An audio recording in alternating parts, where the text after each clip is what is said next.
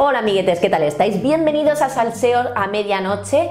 Eh, tenemos que hablar de lo que ha sucedido estos días en redes con el actor Adrián Rodríguez. Adrián Rodríguez es un actor y cantante español que todos lo conoceréis por su papel como, como novio de Fer en Física o Química. Él ha protagonizado también otras series, ha realizado también muchos trabajos, ha hecho publicidad, ha concursado también en Tu cara me suena.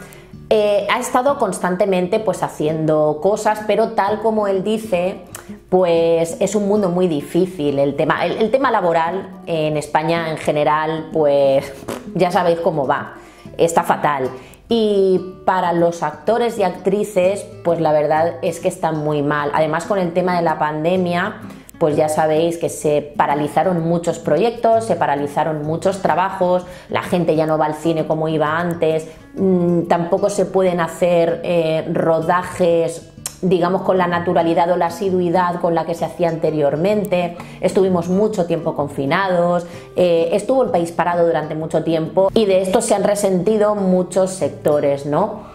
Em, bueno, pues Adrián lo que ha explicado varias veces es que él, pues al igual que todo el mundo, pues se tiene que ganar la vida de alguna manera, que están las cosas muy malas y pues que si no le sale trabajo de lo suyo, pues tiene que tirar por otros lados.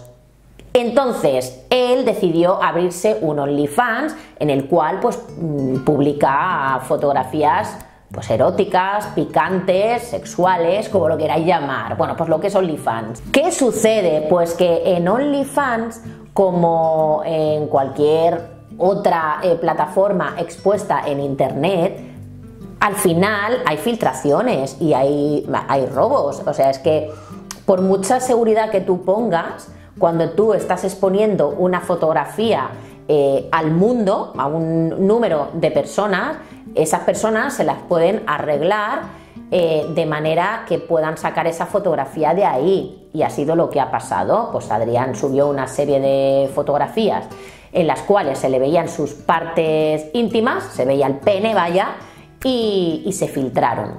A raíz de esto, ¿qué es lo que ha sucedido? Que eh, la gente, no todo el mundo, pero sí muchas personas en redes sociales, sobre todo en Twitter, han empezado a cachondearse del tamaño del pene de Adrián. Y por suerte y gracias a Dios, siempre hay otras personas que ponen un poquito de freno y dicen, pero bueno, ¿de qué estáis hablando? O sea, estamos tratando aquí como de quitar estereotipos de que si las tetas más grandes, de que si el pene tiene que ser enorme, o sea, y, de repente ahora eh, salís vosotros con estos comentarios, ¿no? Que una cosa es que tú comentes la fotografía, eh, pues eh, yo qué sé, a ver, se filtra una fotografía y evidentemente pues puedes decir, ¡hala! Pues se le ve el nepe ¿sabéis?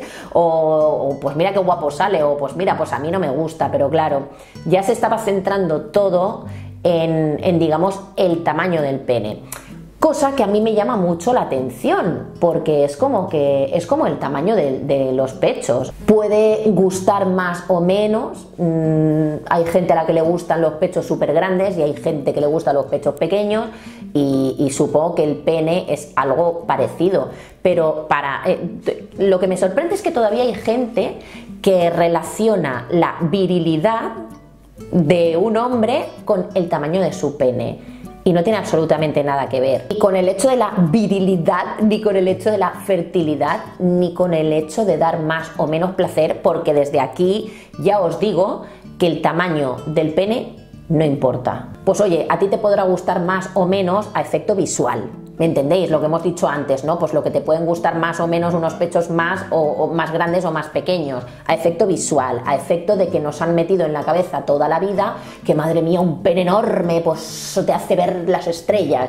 Y realmente no es así. También hay que quitarnos ya de la cabeza como que mm, los, los tamaños normales, como estereotipando eh, lo que tiene que ser el, tamaño normal de un pene cuando yo creo que, em, que entra completamente dentro de lo normal, no sé. Es como si, es como si ahora em, nos imaginamos a Brad Pitt con un pollón, ¿no? Porque como, como está súper bueno y es súper cachas y no sé qué, pues claro, tiene el tamaño pues también le tiene que acompañar, tiene que tener, pues le, tiene que medir 25 centímetros. Es que no sé, no sé, me parece todo muy heavy. Y claro, es esto, em, que cuando a esta gente se le ha reprochado, oye, ¿cómo sois tan superficiales y tan banales de estar aquí? Em, pues quejándoos, ¿no? Luego pediréis respeto para vosotros y para vuestro físico y os estáis aquí riendo y cachondeando del tamaño del miembro de esta persona, ¿no? Entonces han empezado a recular y han empezado a decir que es que no, que no es por eso, que realmente lo que les preocupa es el deterioro físico de Adrián debido supuestamente al consumo de ciertas sustancias, que no sé qué. Yo sinceramente he visto a este chaval eh, antes y ahora y a mí me parece que tiene un buen físico. Es que yo no sé la gente... Em, joder, el daño que puede llegar a hacer con ese tipo de comentarios. O sea, es decir, ¿qué pasa? Que si ahora una persona em, adelgaza 3 kilos o engorda 3 o 4, ya em, es que mira qué deterioro físico tiene, porque no sé cuánto, o sea, tienes que estar siempre igual. Tienes que ser siempre súper cachas, estar súper trabajado de gimnasio, eh, tienes que estar siempre en, esa forma física. Es decir, mm, si una temporada estás un poquito más rellenito o no, no te apetece machacarte tanto en el gimnasio o lo que sea, tiene que ser obligatoriamente porque llevas una mala vida y supuestamente consumes cosas, es que no sé, es que hay como una facilidad para dar por hecho cosas en, Internet en general y como para dar credibilidad a, bulos y a historias, que, yo no digo que no, ni que sea cierto ni que no sea cierto, pero que hay una facilidad para, para hacerlo pasar por, porque, eh, porque sí, ¿no? Como si tú hubieses estado con él.